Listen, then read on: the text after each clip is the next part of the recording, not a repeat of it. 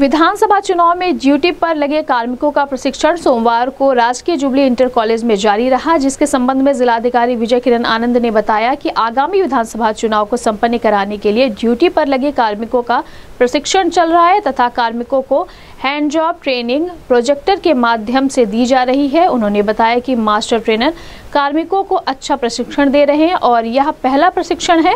उन्होंने बताया कि कार्मिकों को आगे भी दो बार और प्रशिक्षण दिया जाएगा। इस संबंध में गोरखपुर न्यूज़ से बात करते हुए जिलाधिकारी, जिला निर्वाचन अधिकारी विजय किरण आनंद ने कहा यहाँ पर धागा लगाएँ धागा लगने के बाद यहाँ से ये नंबर इधर रहेगा ये हो गया इसको इस सील में ले आएँगे समझ गए उसके बाद इसका धागा पकड़ेंगे उसके बाद ऐसे पकड़ के यहाँ पर बंधन लगा बंधन लग जाएगी नहीं तो ऐसे लगाने के बाद घुसाएँगे घुसेगा नहीं ले में ही है बंधन लगाइए उसके बाद लाठी जब खोज हो जाएगी तब जब ये माप खोज हो जाएगी, तब ये प्रक्रिया है।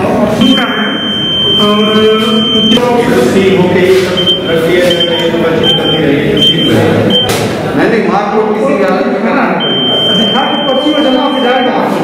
और इसको सील करने से पहले कैंडिडेट को आपके कौन के जो भी वहाँ होंगे इसमें भी पर्चियाँ नहीं।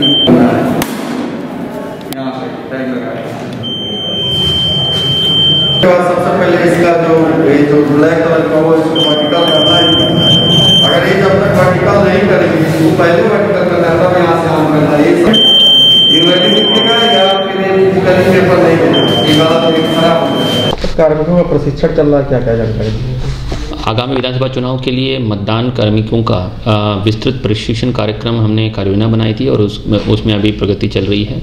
जुबली इंटर कॉलेज में छोटे छोटे समूह में उनको hands on training presentation projectors के माध्यम से और अहम, अ, उपकरण के माध्यम से किया जा रहा है। मास्टर ट्रेनर्स बहुत अच्छी प्रगति बहुत अच्छा प्रदर्शन कर रहे हैं और एक अच्छे मतदान संपन्न करने के लिए दक्ष कर्मचारी होने बहुत आवश्यक है। इसी क्रम में हम लोग कार्रवाई कर रहे हैं और ताकि ये पहला ट्रेनिंग है। अभी दो बार और इन कर्मिकों कार्मिकों को प्रशिक्षण दिया जाएगा।